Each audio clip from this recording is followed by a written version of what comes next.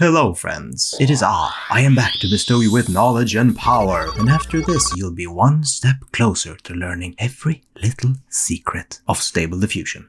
And I will be out of a YouTube job. And if you stick around, I'll show you a hidden feature that's not even in the features list yet. Today, we're going to talk about prompt editing. And as it says here, prompt editing allows you to start sampling one picture, but in the middle swap to something else.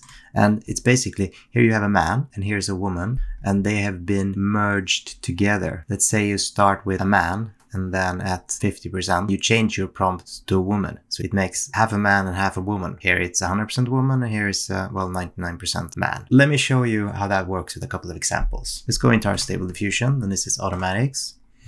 Let's write llama as painted by Derek Zabrocki.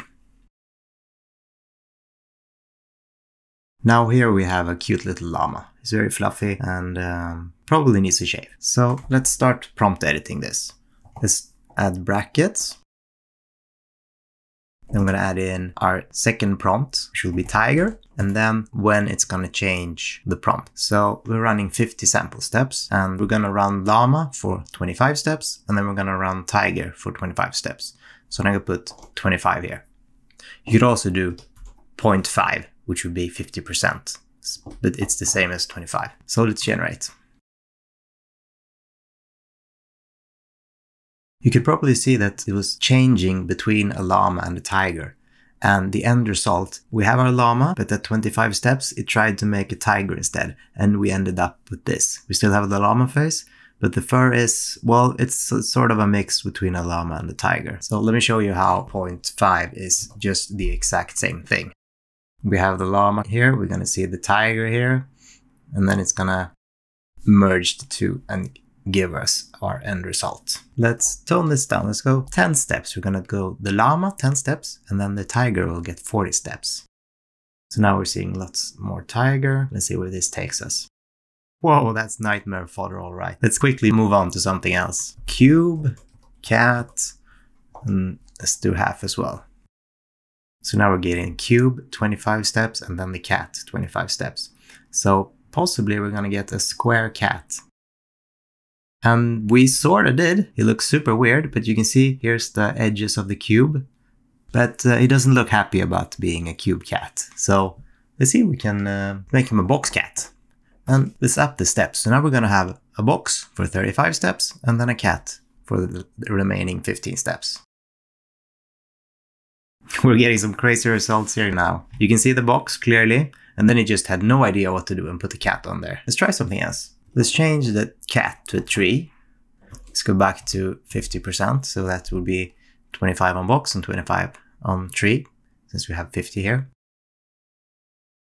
So we started making a box and then the AI just went, ah, oh, what? We can't make a tree out of this. Let's just paint the tree on the box and call it a painting put a stool in there and it will look real. So yeah, that's prompt editing. So you can basically put anything here or here. You're gonna transfer from this to this and the change will be set here of how many steps.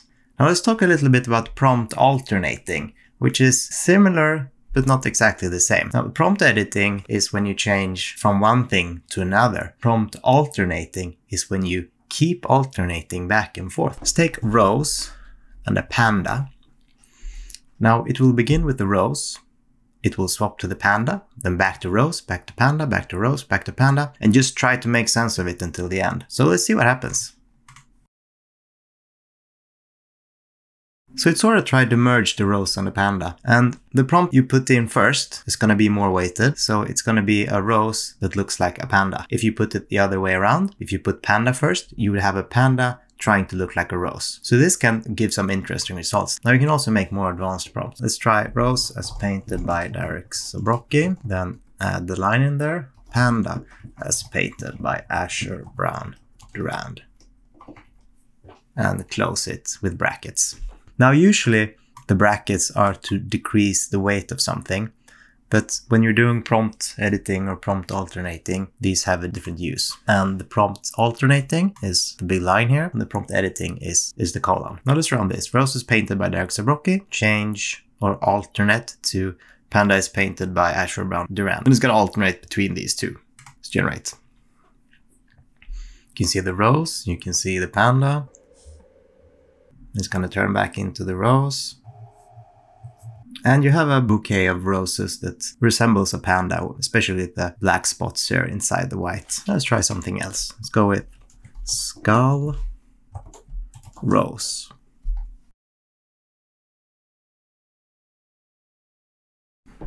And again, skull is our primary prompt here, the most weighted prompt. So it's a skull influenced by roses. Now let's do something crazy. Now we have the prompt alternating here. Skull alternating between a skull and a rose is painted by Derek Zabrocki. So those are going to alternate for 25 frames. And then we're going to turn that into a llama for the next 25 frames. So we're doing prompt alternating and prompt editing at the same time. Let's generate and see what happens. Now this is really messed up.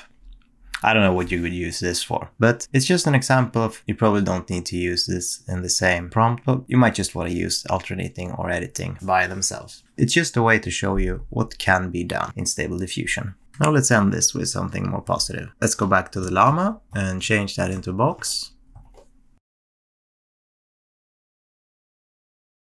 So we got our llama. He's a little a little boxier, but not quite there. So let's try and see if we can turn it into a box five steps earlier. I mean, he's bigger. Let's go even earlier. This might mess him up, but he's been with us long enough. Yeah, he's with us no more. He's now a box, and his llama friends are mourning his passing. Goodbye, dear llama. So yeah, I hope you had fun. I hope these tips will help you create something cool you can incorporate in your workflow. It was no problema. So I'll just, I'll pack up my bags and go. Bye bye.